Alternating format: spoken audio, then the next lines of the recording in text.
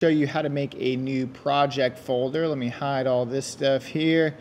Um, so what we need to do is open up our uh, project files folder on our desktop. And it's going to look something like this. So the file that's in here at the top, that's plus zero zero underscore project underscore template underscore copy this. Um, what we're going to do, do not override this. We need to select it we need to hit Command C and Command V to make a copy of that. So that way this is always going to be here and then we're going to rename uh, this copy, okay? So what we're going to do, for example, this is the first one. We are going to delete where it says plus and we're going to delete 0 and we're going to call that 1. So it would be 0, 1 underscore. The project is going to be called cut practice.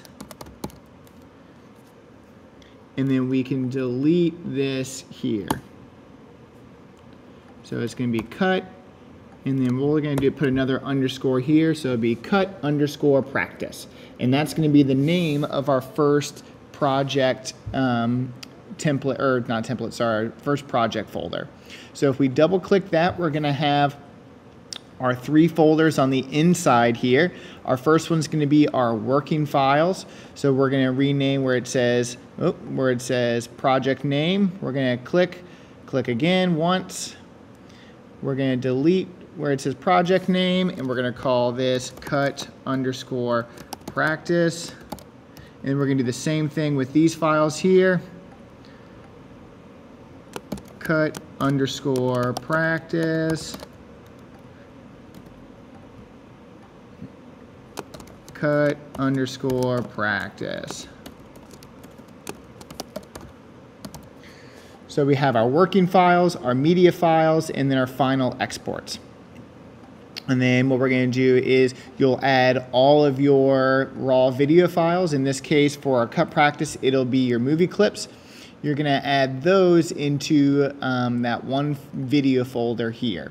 So uh, in this project, we don't have audio or images that we're adding. It's just going to be video. So you're going to add your downloaded converted clips from YouTube onto uh, or into this folder right here.